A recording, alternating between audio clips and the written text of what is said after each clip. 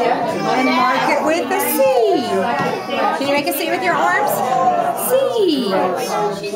Put it in the oven for Caitlin and Cora. Yay! Caitlin, careful, careful. Get your hands down from her face. You know what? You know what? She still smells like, smell it. Take a sniff. Smell that? That's when Father put the cross on her head. You smell her? She smells pretty, doesn't she? Yeah. She is tired. Are you tired? I'm tired. no, I'm tired.